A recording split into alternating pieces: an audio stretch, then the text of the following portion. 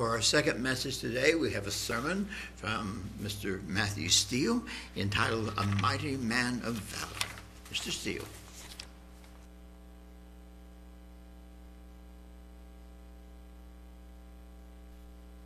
Thank you, Reg. Well, hello. It feels like uh, we're all getting affected by the weather today, doesn't it? Just a little slow, a little sleepy. Maybe uh, one of those days that we really want to stay in bed. No? Get out and about. Well, I'm glad that we can still do that. Uh, because, you know, certainly there are parts of the country that uh, that's becoming uh, less and less uh, able to do that. And, and so we're, we're definitely need to enjoy it uh, while we can. You know, it was about three, well, four, three to four generations or so after the children of Israel left Egypt and in that great Exodus story. And, and then about three generations from when they started to conquer the land and, and to subdue those that had, had been there and were supposed to be eliminating those different tribes and nations that had been in the land ahead of them. And, you know, that's a long enough time for uh, things to start to get forgotten, isn't it? You know, so this is like the equivalent of uh, not my parents, but my grandparents. Uh, they were the ones that entered into the land, and they were young when they entered into the land. And, but they had, they had stories, didn't they, of what God had done. You know, because they had grown up, uh, like Joshua and others had grown up in the wilderness and seeing God's miracles and seeing how He provided for Israel every, every day, every morning, morning by morning, giving them their daily bread. And so many different promises fulfilled in their lifetime. And, and so, you know, generations go by and eventually you, you lose that knowledge, don't you? You remember the stories, but those that were alive didn't really experience those wonders. And so we get to a period of time that we call the Judges. And uh, Israel is in a very dark place. Uh, as I said, it was in a period of the time that we call the Judges, a time when Israel had no human king, right? Who's for that today? I'm for that today. No more kings, no more congressmen and senators and presidents. God was king, right? He was supposed to be their king. And, and interacting, and they were supposed to be interacting with him as their king. And so here we are, we're, we're just find Israel ruled by judges, and judges that they weren't just judging, were they? They weren't just deciding, okay, no, they're his camels and they're your sheep, and, and finding people for misdemeanors they were actually bringing judgment uh, on the enemies of Israel. And, and through God's strength, they were defending the nation. And so we get to this time, and then this one particular judge comes to the fore, and his name was Gideon. Now, it's no accident that I'm talking about Gideon today because the ladies are about to do a Bible study on Gideon. And so I thought it would be appropriate. And uh, I am sure that it's going to be just a, a, fantastic study from, from the material I've seen thus far. It's going to be really, really good. But this, this guy, we don't think about it in these terms, but this guy struck fear into the heart of the enemies of Israel. And if you read the story of Gideon, you'll, you'll see that and uh, especially when later, and I'm not going to touch on it today, but when Gideon sneaks down into the camp of the Midianites and he hears them talking about how the sword of Gideon is out there and that they're afraid. And so, you know, in the days before we have social media and you can't go viral with things, nonetheless, Gideon gets a name for himself, as it were. He becomes this powerful figure and uh, brings a lot of fear to the enemies of Israel.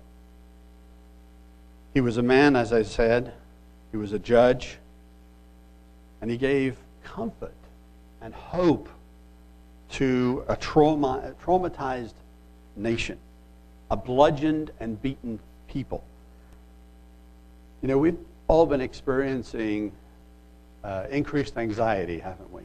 From one reason or another in and around the, the coronavirus, whether it's the virus itself, whether it's government actions, whether it's face masks and not face masks, and the politics surrounding all of those things. And it's just raised that level of anxiety, and we've, we've talked about that. But then there's also deeper anxiety for those that have lost jobs. They've lost their livelihood because their, uh, their position was eliminated due to the lockdowns and, and the lack of business in certain sectors of the economy. So we, we have very real anxiousness and, and stresses on people's lives and on their families. They are real, but they are nothing in comparison to the condition we find Israel in during a seven year period of oppression by the Midianites.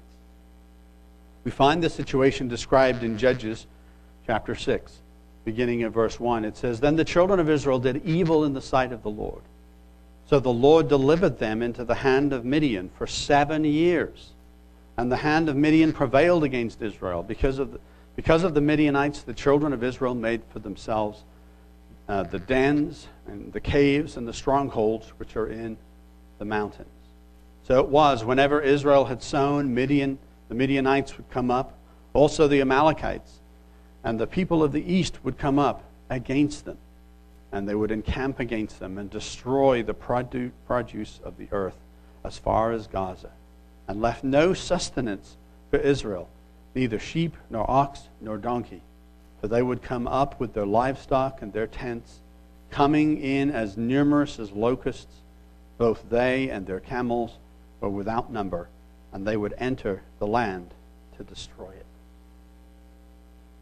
Could you imagine that? you know, we have at times this last year been a little bit stressed, you know, about, um, you know, when the lockdowns first started happening, you remember all the toilet paper that disappeared, right? And other food items and so on. And it's, it's un- unknown. Is this going to keep happening? Are these things going to keep getting worse? This was far better. Far worse, I should say. Far worse. We have it, we've had it much better than what Israel experienced. You know, the idea of uh, maybe hiding out in a cave for a little camping trip, maybe a, you know, 13 year old boy might think that's pretty cool. We can kind of camp in the cave, make sure it's not occupied, you know, by a bear or two. Don't want to wake up and be somebody's breakfast in the morning. But think about hundreds of people hiding in the mountains in caves. And then think about thousands of people. And think about the sanitary condition alone. And then how are you getting water? And where is the food coming from? I imagine during that seven year period, the, the wild animals, deer, and whatever else would have been in and around that area was probably decimated just hunting to survive for seven years. And then, as you watch from the mountainside, from your, your den, your cave, you see these hordes of Midianites and Amalekites and others come along in and camp where you have planted your grain. And they just eat all up. They just take it. And then their herds just decimate every single little bit of green plant on the ground. That's what Israel was going through for seven years. Just as the Bible said, it was a swarm of locusts, uh, just taking away the resources that Israel needed to survive. I just couldn't imagine seven years of that. I, I my darker moments thinking about, oh, an economic collapse and we can't get food. I don't know if we'd survive seven months. You know, we all live on postage stamps with our house and a little front yard and a backyard, and how are we going to feed ourselves? We need more land to feed ourselves. So this was nothing short than national trauma. I mean, this is just awful situation. It says in verse 6 So Israel was greatly impoverished because of the Midianites. And the children of Israel cried out to the Lord. And it came to pass that when the children of Israel cried out to the Lord because of the Midianites, that the Lord sent a prophet to the children of Israel who said to them, Thus says the Lord God of Israel, I brought you up from Egypt and brought you out of the house of bondage, and I delivered you out of the hand of the Egyptians and out of the hand of all who oppressed you, and drove them out before you and gave you their land. Also, I said to you, I am the Lord your God. Do not fear the gods of the Amorites, in whose land you dwell, but you have not obeyed my voice. And you know, they did more than just not obey. They adopted those gods and said, okay, if we follow those gods, then, then that'll keep us safe in this land. They adopted those false gods. But when they finally cried out, it's interesting, God made sure that they understood why they were being punished. They cried out, and then he told them through the prophet why this was happening, why they were being punished. It was a corrective measure.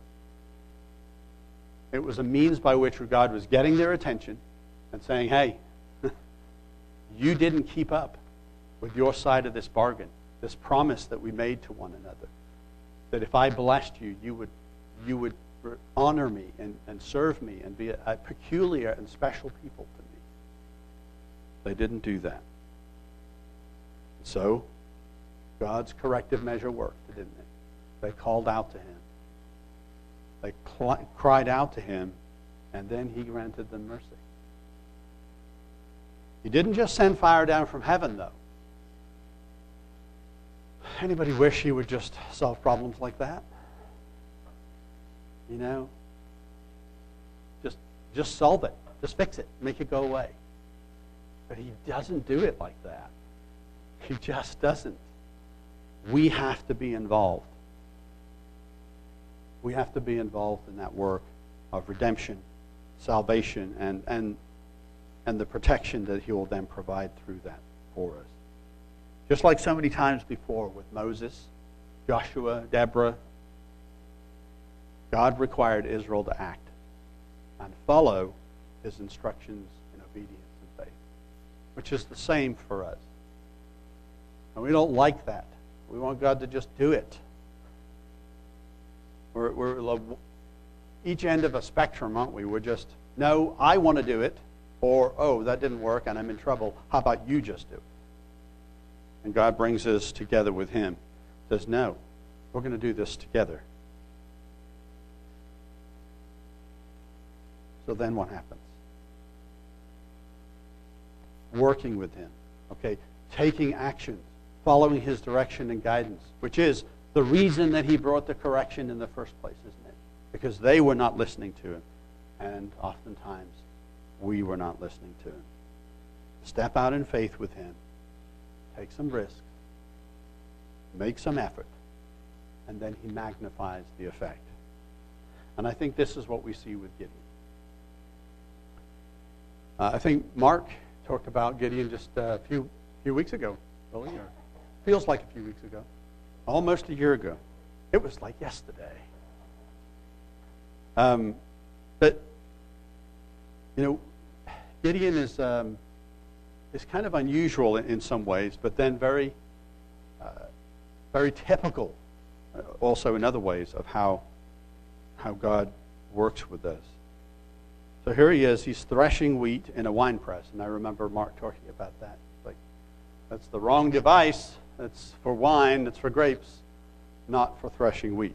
And that's where we find him. And so in Judges chapter 6 and verse 11, it says, Now the angel of the Lord came down and sat under the terebinth tree, which was in Ophrah, which belonged to Joash the uh, Abiezrite. And while his son uh, Gideon threshed wheat in the winepress in order to hide it from the Midianites. And the angel of the Lord appeared to him and said to him, The Lord is with you, you mighty man of valor.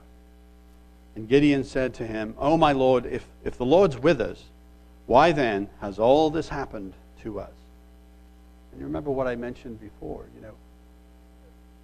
Gideon is now of this generation that never saw the, the miracles that God did. That was three generations ago. He didn't see it. He said, And where are all his mercies, or his miracles, rather, which our fathers told us about, saying, Did not the Lord bring us up from Egypt? But now the Lord has forsaken us and delivered us into the hands of the Midianites. So then the Lord turned to him and said, Go in this might of yours and you shall save Israel from the hand of the Midianites. Have I not sent you? And so he said to him, O my Lord, how can I save Israel? Indeed, my clan is of the weakest in Manasseh, and I am the least in my father's house. And the Lord said to him, Surely I will be with you, and you shall defeat the Midianites as one man.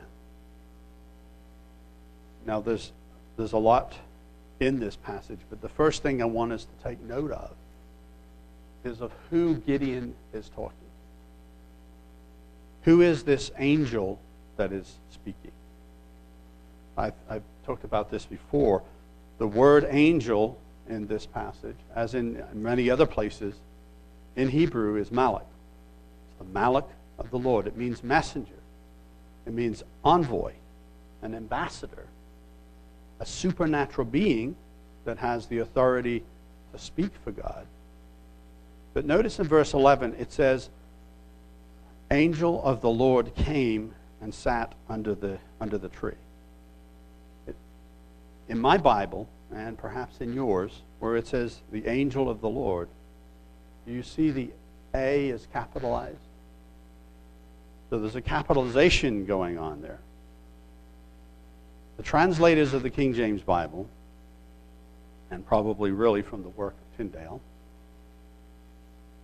they understood that in the Old Testament, in certain passages where it talks about the Malach of the Lord, when you follow the narrative of the, that individual occurrence and the story that follows with it, it is something very different than the run of the mill angel that is a servant of God, a created servant being of God.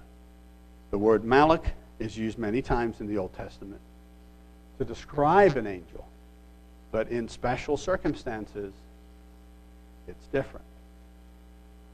In those special circumstances, the angel is not an angel in, in that typical sense that we think about it. It's not an angel at all. The special Malach of the Lord appeared to Hagar, if you remember. And then after she interacted, interacted with that angel of the Lord, she realized that she had seen the Lord and lived. It wasn't just his messenger, it was the Lord himself. Abraham and Sarah also interacted in this special way with this special angel. And that angel appeared to Moses in the burning bush. The Malach of the Lord, the same individual each time. And so we realize in this narrative a being of much greater importance than just an angel, as amazing that may see, you know, be to, to see an angel, this is God Himself interacting uh, with Gideon. And as we'll see in just a few verses, Gideon figures this out. He realizes what's going on. In fact, he starts to suspect it as they have this conversation. It's the same individual that Joshua knew as the commander of the armies of the Lord. A title, I think, that Gideon would have known very well. He would have known that from, from all of those stories that his fathers had told him. So then that leads us to the next point. And I think we need to recognize something important about Gideon. He's oftentimes looked at as being fearful, as being, uh, you know, just afraid and scared. And I've maybe thought about thought that way about him in the past as well. That God took this fearful man that was hiding in a wine press, right, and made him into this courageous warrior that God could perform his redemptive work through and save Israel. And I understand why that seems to be the case, you know, because of how that story is.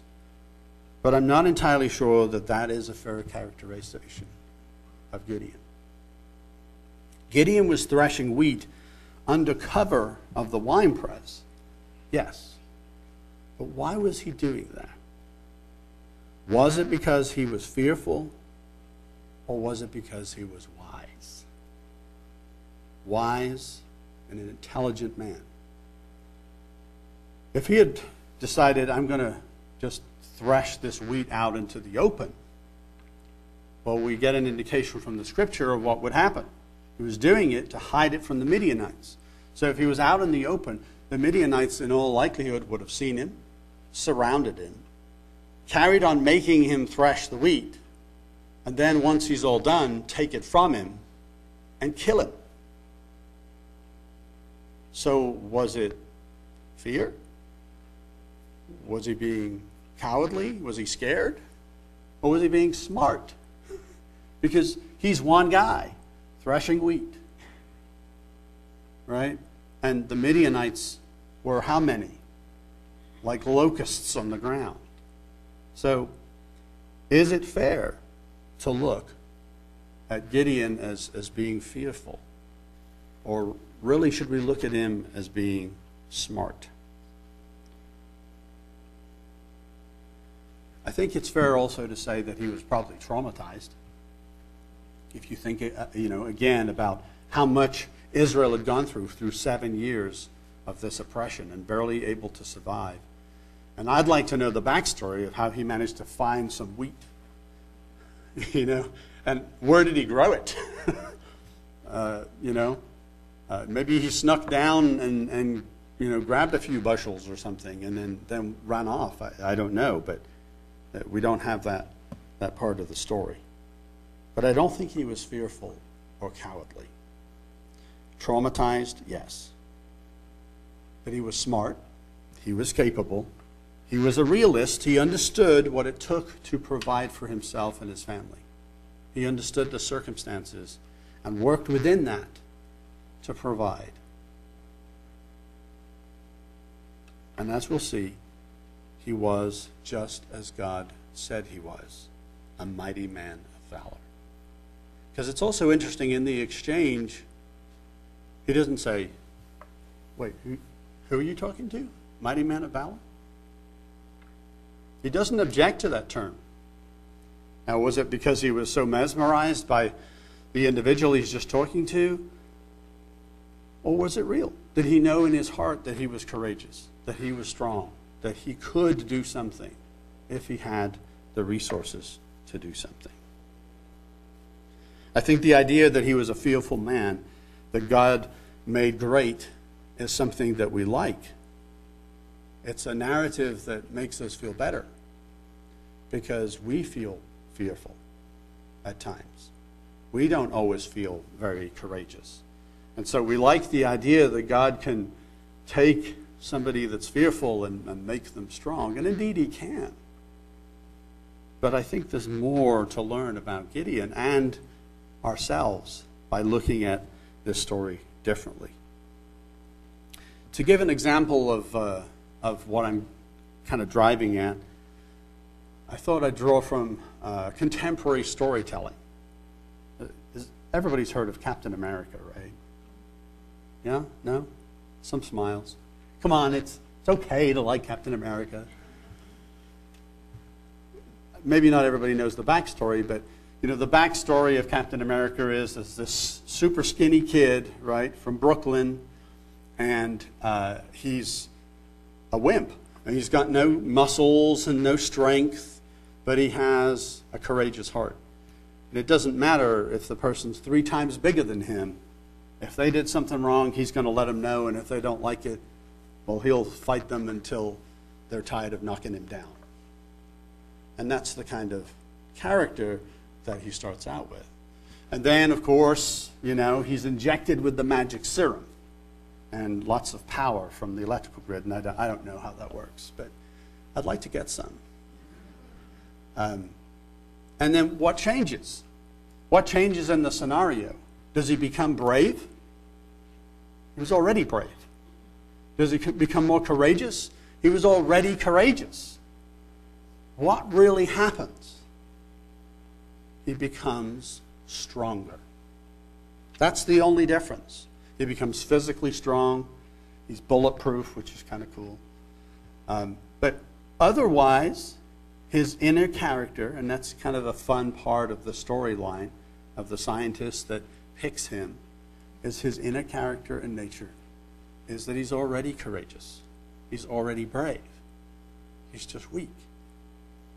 And I think sometimes we look at ourselves that way, and we mistake our weakness for fear, or a lack of courage, or a lack of ability to endure. And that's not the same thing. Weakness is different. So, I think this is how we should look at Gideon. That he was weak. Now, he wasn't a sickly weak guy by, by all accounts. We read later that he was a physical warrior, right? And it takes a lot of energy and upper body strength to wield a sword or a spear. Those things are not light tools. But in the grand scheme of things, he was weak and he was one person. And so he was threshing wheat out of sight so that he wouldn't get overwhelmed by a group of people that would outnumber him. So let's look at Gideon that way. And then maybe let's also, as we look at Gideon that way, look at ourselves that way. So in verse 15, remember it says, O my Lord, how can I save Israel? Indeed, my clan is the weakest in Manasseh. He didn't say, my, my clan is the yellowest, or the scarediest, or without, you know, without any courage. He said, it's the weakest in Manasseh, and I am the least in my father's house. And the Lord said to him, Surely I will be with you, and you shall defeat the Midian, Midianites as one man the least man of the smallest clan. I mean, that's, that's God's method, isn't it? He takes that time and time again, and he chooses oftentimes the weak. But I don't think he just chooses the weak because he thinks that they're without courage. I think it's the opposite. He does choose the weak to make them strong and to show his glory in them. But he doesn't choose those that don't have courage. And yet God told him, You are a mighty man of valor. You are a mighty man of valor.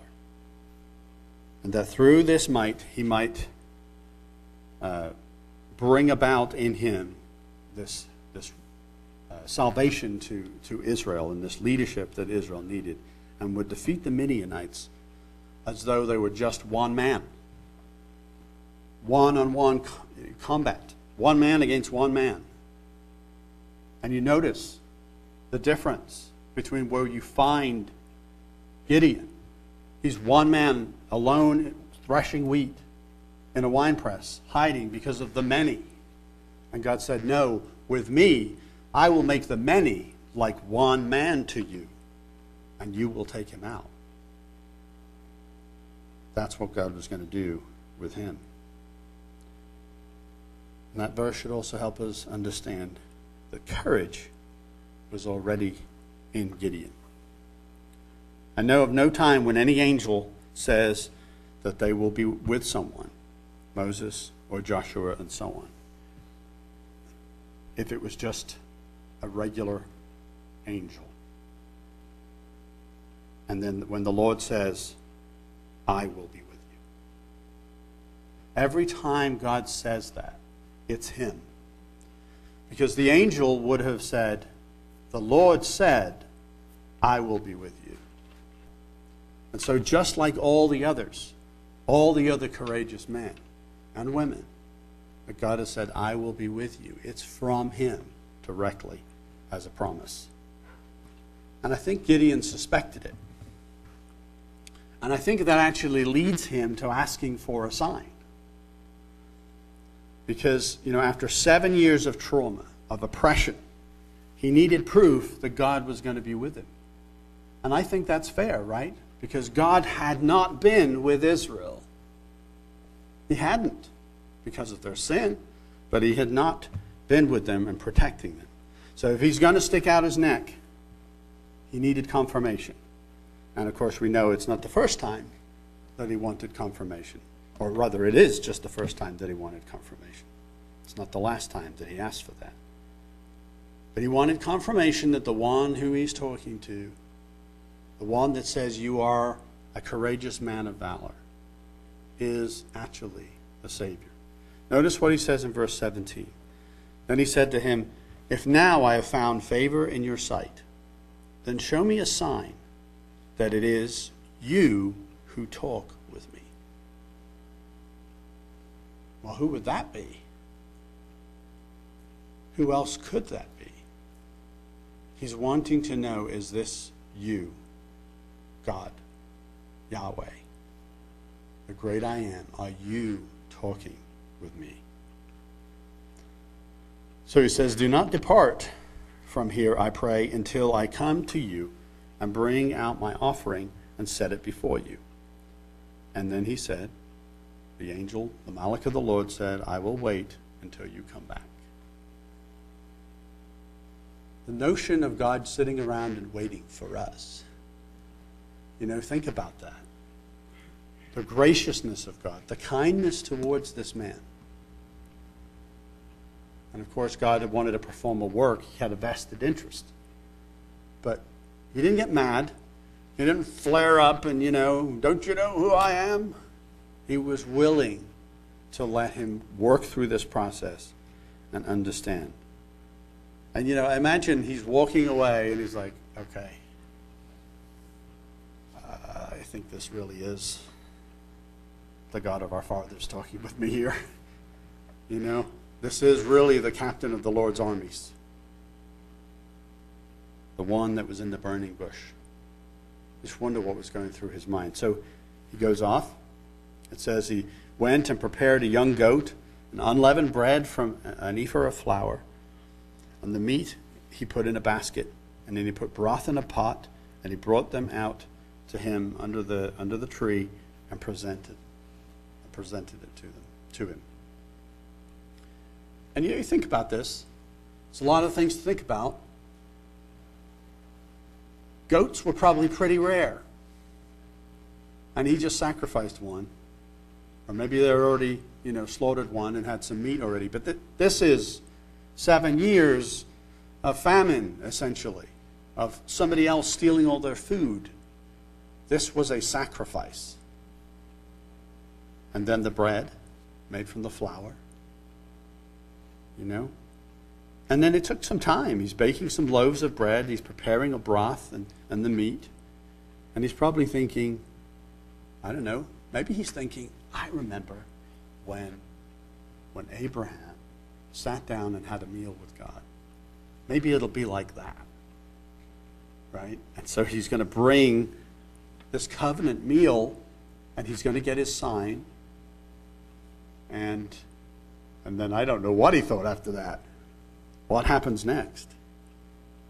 So he brings it to the Malach of the Lord. It says, And the angel of the Lord said to him, Take the meat, the unleavened bread, lay them on this rock, and pour out the broth. And he did so. And then the angel of the Lord put out the end of the staff that was in his hand, and he touched the meat and the unleavened bread, and a fire rose out of the rock and consumed the meat and the unleavened bread. And the angel of the Lord departed out of his sight. Now Gideon perceived that he was the Malach of the Lord. He perceived it, he suspected it. And now this is for real that he was the Malach of the Lord. So Gideon said, Alas, O Lord God, for I have seen the Malach of the Lord face to face. And then the Lord said to him, Peace be with you. Do not fear. You shall not die. You know, and that, that has happened so many times when this angel of the Lord appears. And I really think that, that God finds it funny in, in some way because he's appeared to them as not himself, you know, not in all of his glory, so you absolutely know from the beginning, and then they figure it out by something that he did, something special that he did. And just the kind of playfulness almost in the moment, and then has to assure almost every time this happens, you're not going to die, don't worry. That, that's exactly what happened with Hagar. And he said, Peace be with you, do not fear, you shall not die. So Gideon built an altar there to the Lord and called it, The Lord is Peace. Yahweh Shalom. And that must have been just amazing to him. Because for seven years, they had not been receiving peace from the Lord. They had experienced brutality, death, starvation, all the things that come with not having food, not having shelter, not being safe. And now he's saying, we are getting peace back from God. He's at peace with us again. And it says to this day in Ophrah of the Abiezrites. And that was, you know, at the time, still named for that place, for what happened. That is the peace of the Lord, peace of God. He knew who the Malach of the Lord was. He knew it all the way through. It was God Himself. And he knew that nobody survives an encounter with the Malach of the Lord unless he comes in peace. You know, and it makes me think of uh, the scripture I just read a few weeks back. You know, that the, one of the names of our Savior is the Prince of Peace. And he comes to us in peace, hasn't he? He's come to each and every one of us in peace and called us by his name and made us his children.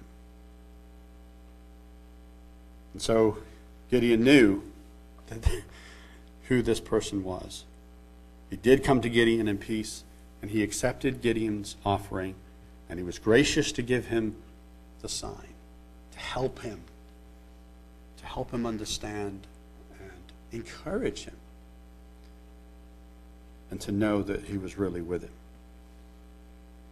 Gideon knew the promises of God toward Israel, and he was faithful even though he and the people had been in, enduring all that trauma and all that struggle. There are many lessons I think we can take from this personally out there. So many personal lessons just in this very short passage, uh, just part of the story of Gideon.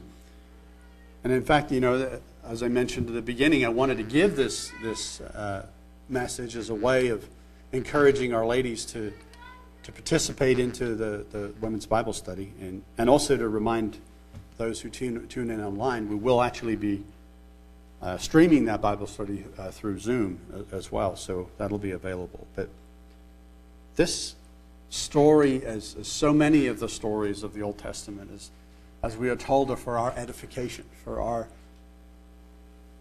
education, for our strengthening and encouragement. And we, we should look at the story of Gideon in that way for us personally. Because from time to time, I think we all find ourselves threshing wheat in a wine press. You know? In different circumstances in life, we'll find ourselves maybe not hiding, but, but yeah, hiding. We're trying to deal with something on our own, threshing wheat in a place that it wasn't supposed to be done. And not being probably very successful, dealing with oppressive circumstances. by ourselves and not looking to God and not asking and, and maybe not expecting Him to come help us. We all live with the consequences of our own sin, of the sin of others, of the trauma of living on planet Earth. And, you know, we, we've touched upon some of the stresses in our community for this year, but we are blessed. But even within our blessings, we have trauma. We all lose loved ones. We all lose security and safety at different times. We all have uh, loss in family. We have loss of health, anxiety, depression. All of those things are like trying to thrash wheat in a wine press when we try to do them in our own strength without God's aid and trying to do them in secret. We might feel like God has abandoned us. So why pray to him at all? I bet Israel felt like God had abandoned them because he kind of had, right? Just out of sight. He was always watching them. But, but to them, their perspective, he was out of sight. And it took them a while to figure out what they needed to do for him to be able to come back and, and save them again. So, what do we do? We try to get on as best we can, don't we? We try to get down in the wine press and thresh our wheat, hoping that nobody notice, notices not our fear, not our lack of courage, but our weakness to deal with the situations that we have in our life. And that is a trap. We would be trapping ourselves inside of that wine press. It's a very lonely place to be. And the story of Gideon shows us, though, that we're not alone. Gideon was doing this. He wasn't strong enough to, to thresh his wheat out in the open. He wasn't strong enough to, to provide out in the open. And we know why. Because the enemy was greater than him. And that was just the circumstances. But our enemy is not. And yet we oftentimes act like he is greater than us. What does that scripture say? Greater is the one living inside of each of us than that is living in the world. God comes to us. And when he does, what does he say? Does he say, You coward, what are you hiding down here for? I don't think so. I think he says exactly what he said to Gideon You mighty woman of valor, you mighty man of courage. I'm going to take you out of the winepress and perform a work in you that you have never even imagined. The Apostle Paul puts it this way when he's talking about a very, a very deep weakness that he has. And we, we all wish that we understood exactly what it was that buffeted him. But he said in 2 Corinthians chapter 12 and verse 7, he said, Unless I should be exalted above measure by the abundance of revelations, a thorn in the flesh was given to me, a mess- messenger of Satan to buffet me, lest I be exalted above measure. Concerning this thing, I pleaded with the Lord three times that it might depart from me. And he said to me, My grace is sufficient for you, for my strength is made perfect in weakness. Therefore, most gladly I will rather boast in my infirmities, that the power of Christ may rest upon me. Therefore, I take pleasure in my infirmities, in the reproaches, in needs, in persecutions, and in distresses for Christ's sake. For when I am weak, then I am strong. You know, some have suggested that the messenger of Satan, uh, you know, that imagery that he uses was, was actually a, a physical infirmity uh, to do with maybe blindness, you know, from, from that moment that he was on the road to Damascus and, and it eventually, you know, caused, caused blindness even though he was healed of it. Regardless of whatever it was, what, regardless of what that version of, of being weak was, and being the smallest and without strength, regardless of what that was for Paul, he said he was weak. When he was weak is when he was strong. But he was never afraid. He was never without courage. And just think about this what would the Christian church look like if Paul had stayed inside of his wine press? Because I suspect for Paul, his wine press was that he persecuted the church of God. And if he had recoiled in that, and if he had said, This is too big for me, I cannot, you know, if his response to the road of, uh, on the road of Damascus was, was to recoil and go inward and not follow God's plan for him, what would have the gospel looked like? What would have the church history looked like? We can thank God that by his grace, Paul picked up that high calling that God put into him. And he stepped out of the winepress and he went in boldness and in the, the strength that God gave him. And notice again what Paul says. He said to me, My grace is sufficient for you, for my strength is made perfect in weakness. Therefore, most gladly, I will rather boast in my infirmities, that the power of Christ may rest upon me. Therefore, I take pleasure in my infirmities, in reproaches, in needs, in persecutions, in distresses for Christ's sake. For when I am weak, then I am strong. And it just it seems incongruent to the world, and it seems odd sometimes to our mind. But when we fully recognize our weaknesses, that is when God can work with us. He reinforces what we talked about earlier that weakness is not the same as fear or lack of courage. In fact, when we finally come to a place where we realize that we are weak, that we don't have enough power to overcome the circumstances that we find ourselves in, it's then that we pick up the strength of Christ Jesus. It's then that we can work with the captain of the Lord's armies. The angel of the Lord can then work with us, and we with him. And he can bring us to the place that he has designed for us to be. And that takes courage. It takes courage to deal with this one whom, if we see in his natural state, we will die unless he comes in peace. I mean, it takes courage just to do that and to allow him to throw his light on our entire life and unearth everything in there that he needs to resolve with us. And then it takes courage to take that out into the world and share that with those that desperately need it. You know, we've talked at, in times in the past about the different resurrections that we see, at least two resurrections we see in Scripture. And the first resurrection, as we know, is, is to, to those that have lived through this world, through this life, and have overcome. Right? They have, ha- they have the testimony of Jesus Christ, and they keep his commandments.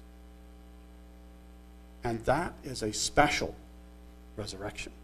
It's a better, the scripture says, a better resurrection. And I think it's better because it is harder to be a believer in this world.